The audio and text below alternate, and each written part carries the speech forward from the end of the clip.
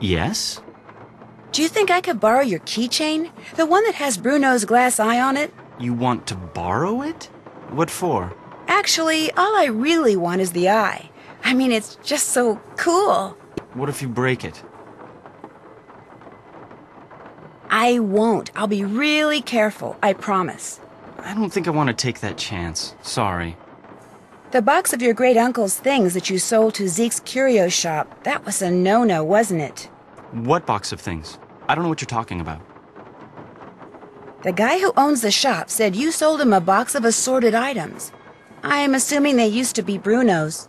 Well, somebody screwed up somewhere because I haven't sold anything to anybody. Why would I sell one lousy box of stuff when I'm about to inherit a whole house full of stuff?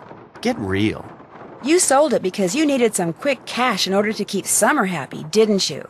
How do you know about her? Playing detective is actually a lot more than a hobby with me.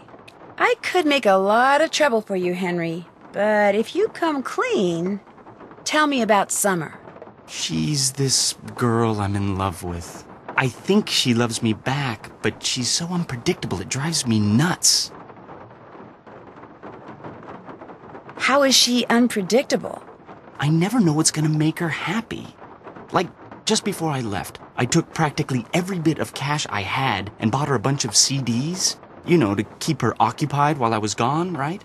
Well, soon as I get here, she calls and says her sound system just went bluey and I had to buy her a new one because what good were the CDs I bought her if she couldn't play them? So then I. So then you threw a bunch of Bruno's things into a box and sold it to that curio shop. Yeah. I wired her the money, but then she called and said she also needed new headphones.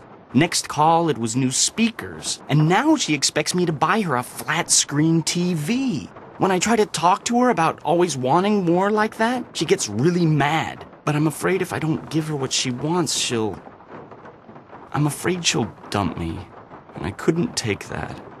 I mean, she's the only girlfriend I've ever had. Ever will have, probably. Look, you don't need to go telling Renee or any of those lawyers about selling that stuff, right? I can't just ignore what you did, Henry. I know. You still want the glass eye? Uh, take it. Go ahead. It's all yours. You want something, I want something, take it, and we're even, okay?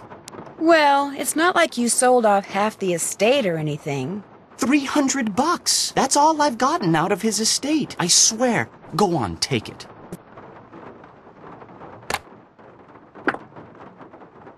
I was naughty, but from now on I'll be nice, I promise. Do you know anything about the crystal skull that was in that box of junk you sold to Zeke's? There wasn't any crystal skull in that box. Are you sure? It would have been inside another box. Well, I did throw in some smaller boxes. Like I said, I was just grabbing stuff. Was it valuable? All I really know for sure right now is that it's missing. Great. Be just my luck to have sold something that wasn't junk to that glorified trash collector. I'll check back with you later. Awesome.